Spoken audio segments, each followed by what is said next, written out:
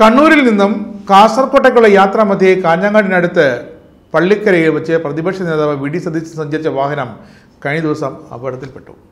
ദുഃഖകരമായ കാര്യമാണ്. കാറിന്റെ മുൻവശം പൂർണമായും തകർന്നു. കണ്ണൂർ വിമാനത്താവളത്തിൽ നിന്നും കൊല്ലൂർ മൂകാംബികയിലേക്ക് ദർശനത്തിന് പോകുകയായിരുന്നു വി ഡി സതീശൻ.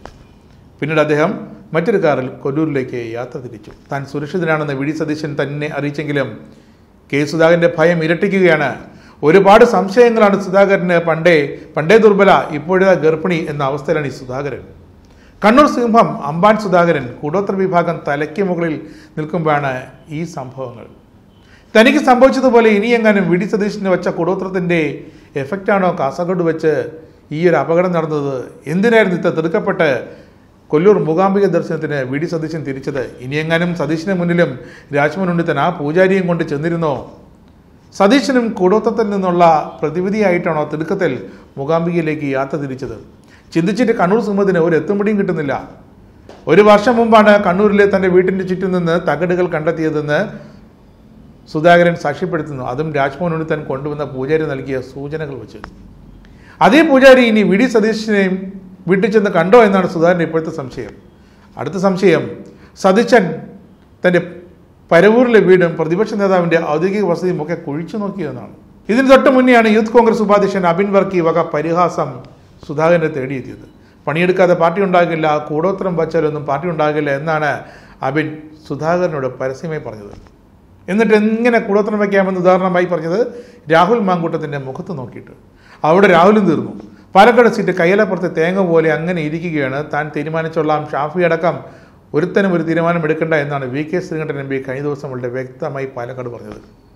അപ്പോൾ രാഹുൽ മാങ്കോട്ടവും ചിലരൊക്കെ മനസ്സിൽ കണ്ടിരുന്നു. അങ്ങനെ അന്ധവിശ്വാസത്തിൽ നീരാടിക്കൊണ്ടിരിക്കുകയാണ് കേരളത്തിലെ ഈ കോൺഗ്രസ്സുകാർ. ഇവരാണ് രണ്ടായിരത്തി ഇരുപത്തിയാറിൽ ഇടത് സർക്കാരിനെ താഴെ ഇറക്കാൻ കേരളത്തെ ഭരിക്കാൻ കച്ചകെട്ടി ഇറങ്ങാൻ ഒരുങ്ങുന്നത്. പൂജയും പൂജാരിയും മന്ത്രവാദവും കുടത്രവും ഒക്കെ ഇടകലർന്ന കോൺഗ്രസ് പ്രവർത്തനങ്ങൾ തകൃതിയെ നടക്കുമോ? ഇനി തങ്ങളുടെ റോൾ എന്താണെന്ന ആലോചനയിലാണ് കേരളത്തിലെ ബി ജെ പി. എന്തായാലും കെ സുരേന്ദ്രൻ വളരെ കൃത്യമായി പറഞ്ഞിട്ടുണ്ട് തങ്ങൾ കുടോത്തത്തിന്റെ ആളുകളല്ല സി പി എം എന്തായാലും അത് ചെയ്യില്ല. സുധാകരന് കുടോത്തം വെച്ചത് സ്വന്തം പാർട്ടിക്കാർ തന്നെ ഒന്ന് സൂക്ഷിക്കണമെന്ന് എന്തായാലും ഈ കോൺഗ്രസ്സുകാർ ഇപ്പോഴും പണ്ട് കാലത്തുമൊക്കെ അന്ധവിശ്വാസത്തിൽ അടിയുറച്ച് വിശ്വസിക്കുന്നവർ തന്നെയാണ്. ഈ ശാസ്ത്രം ഏറെ മുന്നേറിയ ഈ കാലഘട്ടത്തിലും കോൺഗ്രസ്സുകാർ ഒന്നും മാറ്റിപ്പിടിക്കുന്നില്ല ഒന്നും വിട്ടുകൊടുക്കുന്നുമില്ല. അന്ധവിശ്വാസം അതാണ് കെ സുധാകരൻ തന്നെ കണ്ണൂരിലെ വീട്ടിന് മുന്നിൽ നിന്നും വർഷങ്ങൾക്ക് മുമ്പ് കുഴിച്ചെടുത്ത തകടുകൾ അത് വ്യക്തമാക്കുന്നത്.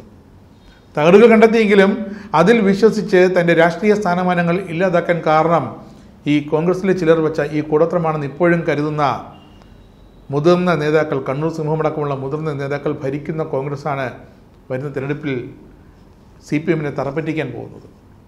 എന്തായാലും വ്യക്തമായി പറയാം ഇനിയും പല കോൺഗ്രസ് നേതാക്കന്മാർക്കും പലതും തുറന്നു പറയാനുണ്ട്. ആഭിചാരക്രിയകൾ മന്ത്രവാദങ്ങൾ ഇതുപോലത്തെ കൂടോത്രങ്ങൾ.